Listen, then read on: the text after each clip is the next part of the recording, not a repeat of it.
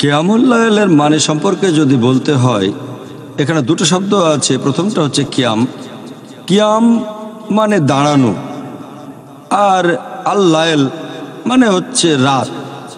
তাহলে শাব্দিকভাবে এর মানে রাতের বেলায় দাঁড়ানো। তবে শরিয়া অনুযায়ী ইসলামিক প্রেক্ষাপটে এর মানে হচ্ছে একটা ঐচ্ছিক নামাজ, যেটা পড়া হয় ঈশান নামাজের পর থেকে ভোর হওয়ার আগে পর্যন্ত। কিয়ামুল্লায়েল নামটা দেওয়া হয়েছে। কারণ যখন কেউ এই নামাজ পড়ে, সে তখন কোরআনের বড় আয়াতগুলো পড়ে। দাঁড়িয়ে থাকে অনেকক্ষণ। সেজন্যই নামাজকে বলা হয় রাতের বেলায় দাঁড়ানো। এই নামাজে অনেকক্ষণ দাঁড়িয়ে থাকতে হয়। আর এই কিয়ামুল্লাইলকে বোঝাতে অনেক সময় অন্য শব্দ ব্যবহার করা হয়। যেমন ধরেন, এই নামাজকে আরও বলা হয় সালাতুল্লাইল মানে রাতের বেলার নামাজ। এটাকে আরও বলা হয় তাহাজুদ এছাড়াও বলা হয় বিতর, আবার অনেক সময় তারাবি। সালাতুল্লাইল একটু আগে বলেছি, এর মানে রাতের বেলার নামাজ মানে বলা যায় রাতের বেলায় দাঁড়ানো। দাঁড়ানোটা নামাজের জন্যই। এর আরেকটা নাম হচ্ছে তাহাজুদ এটার মূল আরবি শব্দ হাজাদ। যার মানে জেগে ওঠা। একজন লোক ঘুম থেকে জেগে উঠে নামাজ পড়ল। এই নামাজকে তাহাজুদও বলে। এই নামাজের আরেকটা নাম হচ্ছে তারাবি। তারাবির মূল আরবি শব্দটা হচ্ছে রাহ, হা। এর অর্থ বিশ্রাম করা অথবা আরাম করা। আমাদের প্রিয় নবীর কয়েক জেনারেশন পরে যখন লোকজন কিয়ামুল্লাইল আদায় করত, বিশেষ করে রমজান মাসে, তারাবি শব্দটা দিয়ে আসলে রমজান মাসের কিয়ামুল্লাইলকে বোঝানো হয়।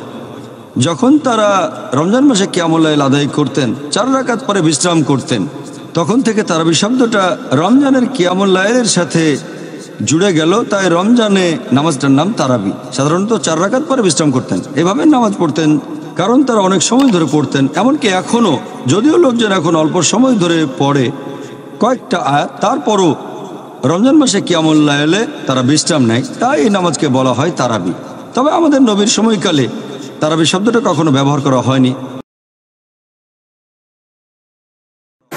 রাসুল সাল্লাহ আলি সাল্লাম বলেন, মান সামার আমাজানে ইমান হেতে সাবান গোফের আল্লাহ মাতা কদ্দামা কেউ যদি ইমান সহকারে নেকির আশায় রামাজানের শ্যাম পালন করলে তাহলে তার অতীতের পাপ সব ক্ষমা হয়ে যাবে। মান কামার আমাজানা ইমান হেতে সাবান গোফের আল্লাহ মাতা কদ্দামা বিন জাম্বেহি।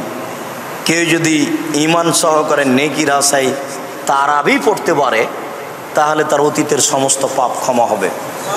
উল্লেখ্য যে তারাবি তাহাজুদ একটাই সলা তারাবিও যা তাহাজুদও তাই। তারাবি কোনো হাদিসেই নেই। তাহাজুদ তো আছে কেমন লাইল তো আছে। কিন্তু তারাবি তো হাদিসে নেই। তুমি এটাকে রমজান মাসে তারাবি বলো? বলো। এটা তো পরবর্তীতে মানুষের দেওয়া নাম। আয়েসারাজি আল্লাহ তালানহাকে জিজ্ঞাসা করা হলো তিনি বললেন, রামাজান এবং রামাজানের বাহিরে বারো মাসই সলাত হলো এগারো রাখা তো তুমি কি করে বলতে চাও যে তাহাজুদ আট রেখাত আর তারাবি বিশ রেখাত মানে?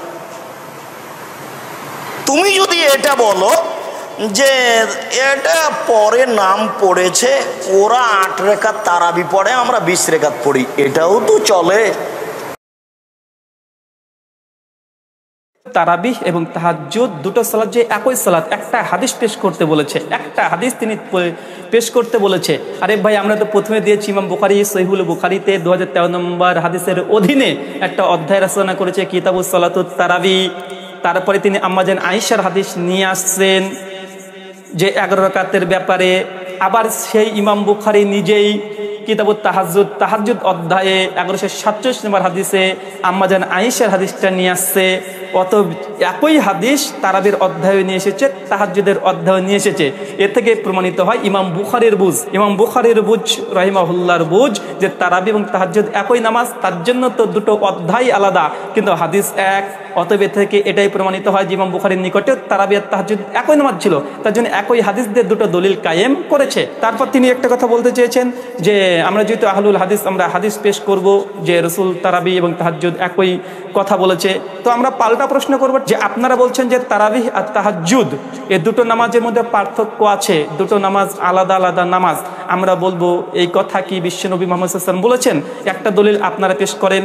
জালসু বলছেন তারাবি এবং তাহাজুদ দুটো আলাদা নামাজ। দুই নম্বর প্রশ্ন আপনাদের কাছে, আল্লাহ কি একই রাতে তারাবি পড়েছেন, আবার তাহাজুদও পড়েছেন? একটা প্রমাণ দেন। তিন নম্বর প্রশ্ন, আল্লাহ মোহাম্মদ সাল্লাহ সাল্লামের সাহাবা রদিয়াল আনুমরা তারা কি কোনো একটা হাদিস একটা আসার পেশ করেন যে তারা বলেছে, তারাবি এবং তাহাজুদ দুটো ভিন্ন ভিন্ন সলাৎ ইমাম আবু হানিফা মহল্লা তিনি কি একটা ফতোয়া দেন তার থেকে? কেন আপনারা হচ্ছে মুকাল্লিদ? আর মুকাল্লিদের দলিল তার ইমামের কথাই ইমাম আবু হানিফা মহল্লা থেকে দলিল পেশ করেন যে তিনি তারাবি আর তাহাজুদকে আলাদা আলাদা সালাদ বলেছেন, ফতোয়া দিয়েছেন। কেয়ামুল্লাইল কেয়ামে রমদান কেয়ামুল্লাইল তার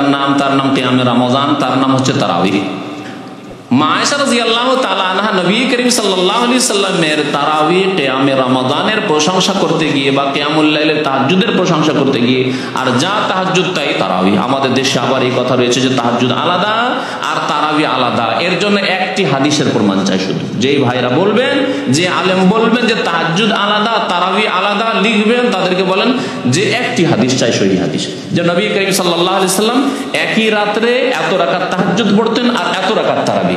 আলাদা আলাদা করে হাদিস দেখাইতে। হবে যদি দেখিয়ে দিতে পারে তো অসুবিধা নেই।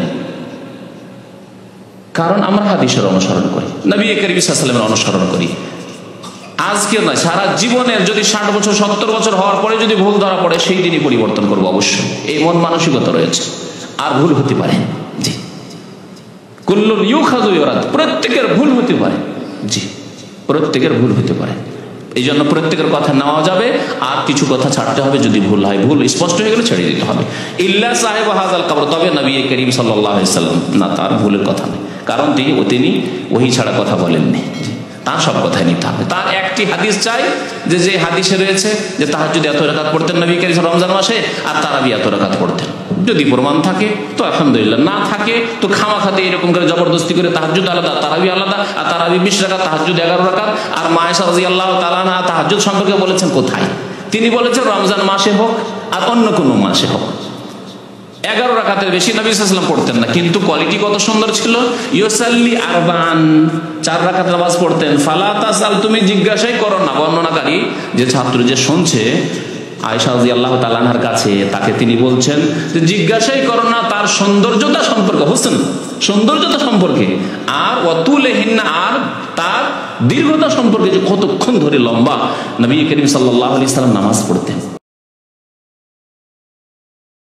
কিয়ামুল্লাইল এবং তারাবি একই নামাজ কিনা? অর্থাৎ তাহাজুদ এবং তারাবি একই নামাজ কিনা? এটা নিয়ে মত পার্থক্য রয়েছে, ফোকাহ একরামের ভিন্ন ভিন্ন মত রয়েছে।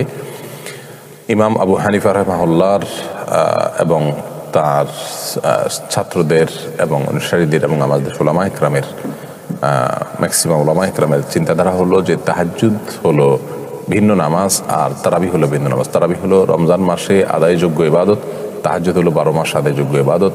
এবং তাহাজুদ হলো ভোর রাতে আদায়যোগ্য ইবাদত, আর তারাবি হলো শুধু মানে সন্ধ্যার রাত্রে এসার পর পর আদায়যোগ্য ইবাদত। এবং তারাবির বিষয়টি যদিও এই শব্দটি হাদিসে আসেনি, তারা বলতে চান যে একে কেয়ামুল্লাইল রমজান মাসে হলে সেটা ভিন্ন ফরম্যাটে হয়, আর বারো মাসেরটা যেটা তাহাজ্জুদ, সেটি ভিন্ন ফরম্যাটের। যার কারণে দুইটাকে দুই নামাজ হিসাবে ব্যাখ্যা করা হয়ে থাকে। অ্যারাবিয়ান স্কলাররা, বিশেষ করে সৌদি আরবের মাসায়েফ বলে থাকেন, দুইটা একই নামাজ, কোনো পার্থক্য নাই। যেই তারাবি সেই তাহাজুদ এবং রমাদান মাসে সেটা শুধু রাতের প্রথম অংশে পড়া হয়। তবে এশারের পর থেকে নিয়ে একেবারে সুবে সাদেক পর্যন্ত যত নামাজ পড়বে, আপনি সবগুলোই কিয়ামুল্লাল কারণ হাদিসে তারাবি শব্দটি আসেনি। কোনো সাবাইকরামও এই শব্দটি ব্যবহার করেননি। এটি অনেক পরে এই শব্দটিকে এইভাবে ব্যবহার করা শুরু হয়েছে। তখন থেকে এটা কেয়ামুল্লাইল কামাল রমাদান ও কেয়ামুল্লাইল এই জাতীয় শব্দ অর্থাৎ রাত দাঁড়িয়ে এবাদত, এই শব্দে অভিহিত করা হয়েছে। একই শব্দ দ্বারায় রমজানের এবাদত, রমজানের বাইরের এবাদতের কথা বোঝানো হয়েছে, অর্থাৎ তাহাজুদের কথা বোঝানো হয়েছে। বিষয়টা ফোকাহ একরামের দুটি মত রয়েছে। দুটি মত আমি উল্লেখ করলাম যে একটা মত অনুযায়ী দুইটাই একই, আরেকটা মত অনুযায়ী দুইটা ভিন্ন ভিন্ন ইবাদত এবং বন্দি। যেহেতু দুইটাই ফরজ বা ওয়াজিব নয়, বিধায় এই ব্যাখ্যাগুলোকে যদি কেউ চান আরও পড়াশোনা করতে পারেন, আরও তিনি ডিপলি এটা জানার চেষ্টা করতে পারেন। তবে এটা নিয়ে খুব বেশি এক্সাইটেড হয়ে যাওয়ার মতো কোনো কিছু নয়, কারণ এগুলো ফরজও নয় ওয়াজিবও নয়, না তাহাজুদ না তারাবি।